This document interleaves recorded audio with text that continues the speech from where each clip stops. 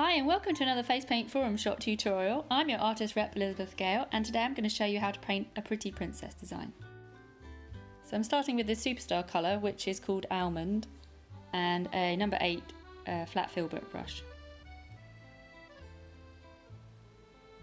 I'm just going to map out the face shape which is the sort of oval, a roundy oval shape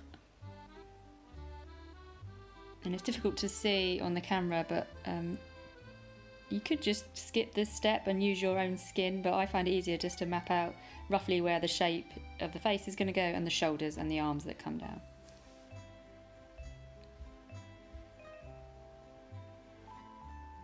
And now I'm using a half inch angle brush and a one stroke from DFX which is called Iris. So nice purpley colours and this princess is going to be in the theme of Rapunzel. So this is going to be the part of her purpley dress. And so you want to create like a U shape, like a scoop shape, which is going to make up her bodice part of the dress. And then the same, but slightly, really small, much smaller for the arms, which are going to be her long arm gloves. And just fill in the bottom there.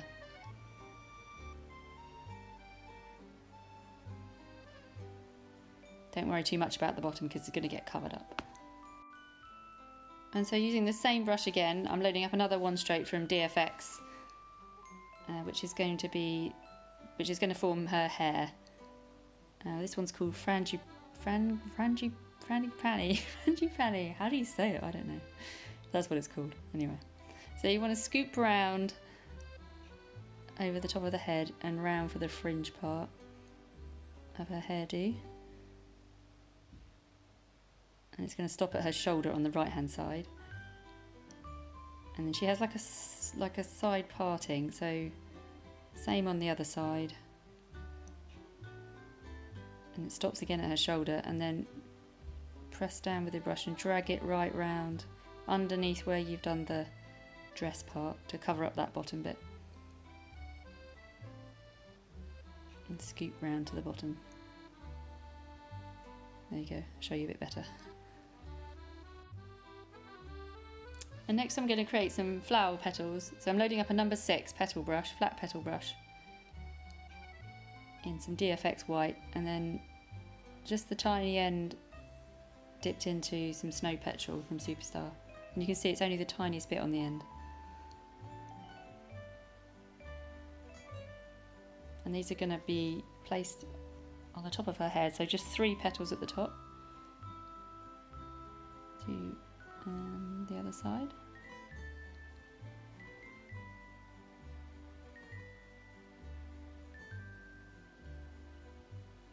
And then a flower on her shoulder where, where her hair meets her shoulder.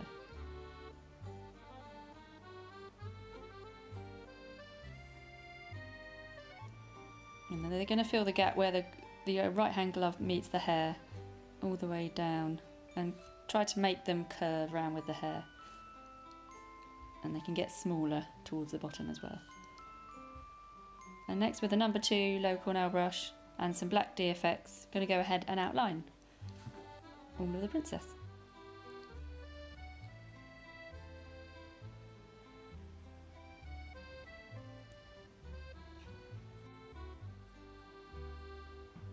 So always remembering to try and keep your lines thin to thick to thin, even with a small brush it looks better. You start on the thin and then push down and then thin at the end.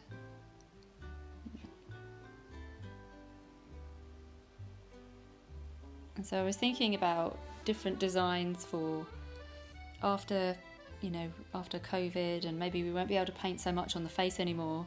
Um, and one of the most popular, you know, designs that I have to paint um, on children are princess crowns and princesses. So I was thinking, oh, if I don't paint it on the face, then maybe I can do some arm paints. And I love to paint on arms anyway. So if I get asked for a princess, this is a quick and easy uh, princess design. And you can make this so much quicker. I mean, you don't have to outline any of it. You could just put the eyes on, which I'm going to do in a minute. And just a few details, a few other details as well. And here I'm just mapping out where I'm going to put the eyes. So always put little markers where to make sure that they're in the right place. It's always easier to have your paint slightly um, runnier for the eyes so you can get nice round shapes. And remember to make the eyes quite big because it always looks little characters and creatures always look better if they've got bigger eyes. It makes them look cute. So I'm just doing a tiny thin line around the edge. And that's going to be where the whites of her eyes will go.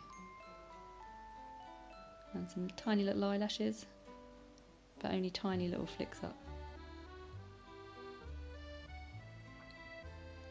And a little happy little mouth. And so next I'm loading up the same number two brush in some, uh, it's a mix of Superstar Teal and Snow Petrol.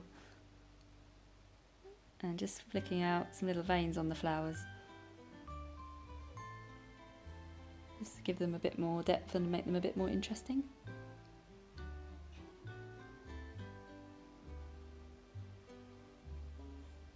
And then I'm going to give her some green eyes.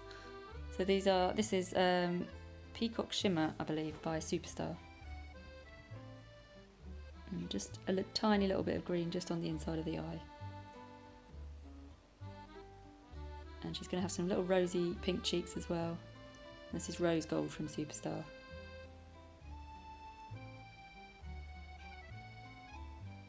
And then loading up some DFX white. Gonna just put some little highlights in her hair just to make it pop a bit more. But again, if you wanted to make it quicker, you could leave this step off as well.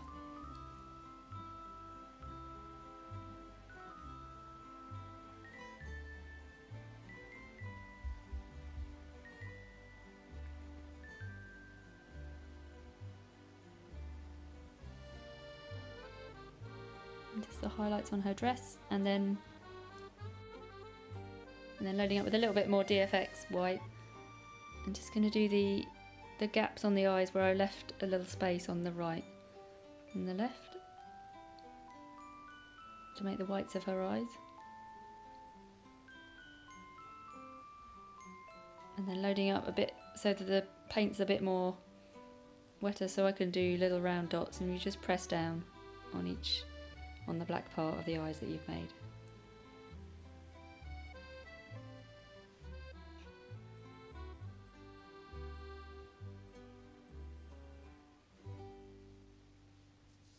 and then some more dots just in the middle of the flowers.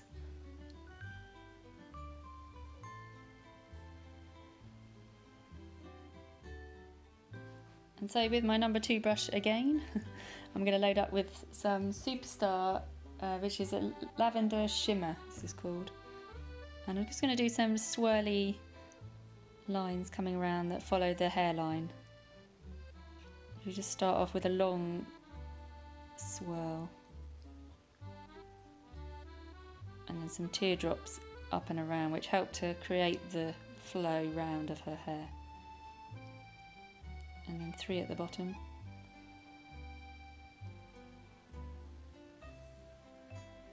No, no, five at the bottom even.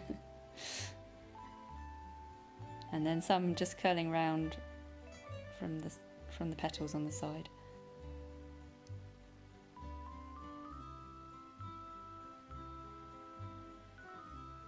And then follow it up so that the swirl kind of connects around at the top as well, so if it's all sort of swirling around through her dress and round.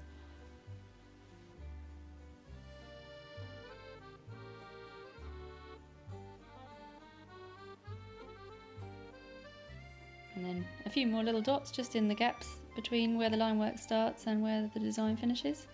And the last step is the glitter. So I love this purpley iridescent glitter which goes perfect for Rapunzel and goes with the line work really well, line work colour. And just paint that on all around the edges.